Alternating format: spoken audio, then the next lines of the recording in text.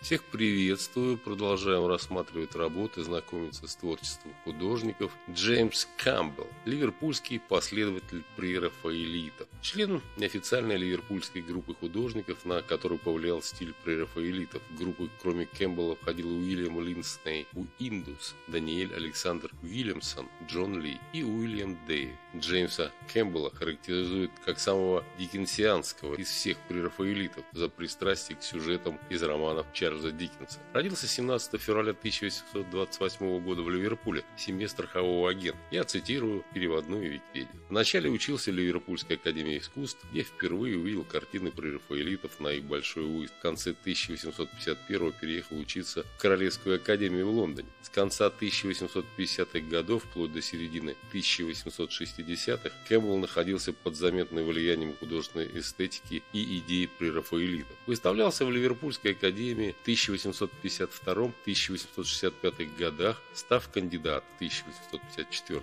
и членом Академии два года спустя. Экспонировал свои картины в Королевской Академии в Лондоне и в Шотландской Королевской Академии в Эдинбурге. Джеймс Кэмпбелл стремился следовать натуре, воспроизводя мельчайшие детали пейзажа или интерьера. Совершенным в этом роде произведением является картина «Логово дракона» 1854 год. Она выполнена в лучших традициях прерафаэлитского пейзажа жанровый художник, а также был отмечен среди поклонников своими пейзажами. В 1857 принимал участие в выставке прерафаэлитов на Рассел Плейс в Лондоне. К январю 1863 окончательно переехал в Лондон, был вхож в клуб и выставочный зал Хога, место встреч и дискуссий прерафаэлитов, где он познакомился с Фордом Медексом, Брауном, Уильямом Холманом Хантом и Джоном Эвереттом Миллисом. С начала 1860-х работы Кэббелла стали еще более условными, но больших успехов в столице он так и не добился. Влияние прерафаэлитов на Кэмпбелла было не столь глубоким и